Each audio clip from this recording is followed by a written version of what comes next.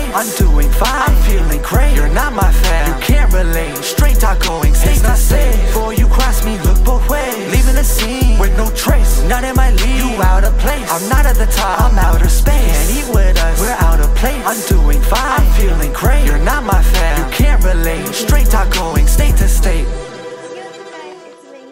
And today I am back with another five questions. And today I am here with Delmi EXO. Welcome to Five Questions. Number one, during your training, what was the easiest move you could do? Ooh, the easiest move I could do. Um, I'm gonna go ahead and say everything was difficult for me in the beginning. I was not naturally athletic, not naturally gifted at all.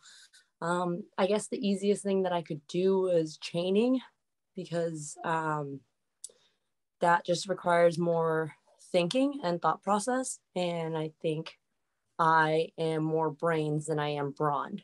Except now, now it's kind of outweighed itself. But back then, it was easier for me to kind of know how to get around things versus the athletic side kind of came later on. Ah, I see, I see. Number two, if wrestling shows open back up, would you look at any other promotions to wrestle at? Yes. Uh, so right now, my goal um, post this whole scenario would be to wrestle in Ireland for over the top wrestling. Uh, that's one of my goals. And, you know, just other places that I haven't been to, uh, wrestle in Mexico, hopefully wrestle around Europe, some German promotions. Ooh, okay. Number three, when you had your debut in 2015, what was it like wrestling in front of a big crowd? A lot of adrenaline. So I was super nervous. Uh, I didn't think I'd be nervous. Um, you know, everyone was trying to like calm me down, and I was just trying to put on a cool front and be like, ah, I'm fine. but as soon as I walked out, my vision blurred. Everything just felt so tuned in. Yeah, I bet. Number four, what is it like being a tag team with your sister?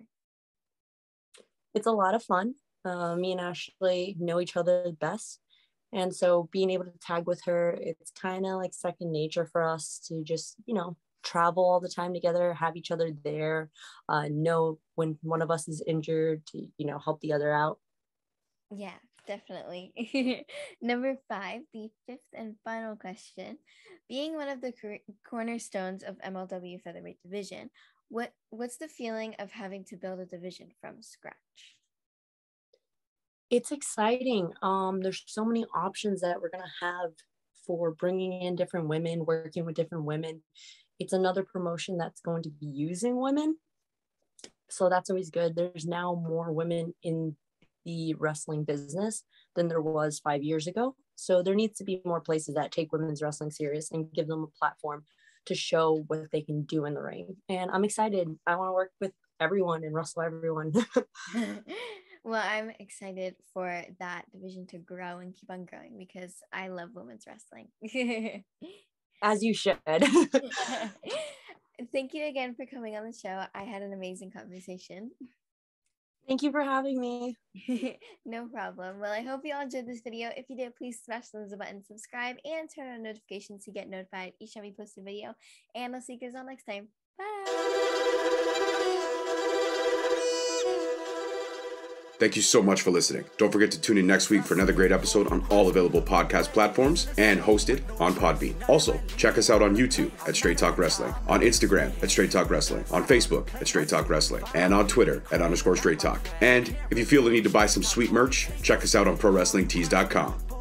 Leaving the scene with no trace, not in my. You out of place. I'm not at the top. I'm outer space. Can't eat with us. We're out of place. I'm doing fine. I'm feeling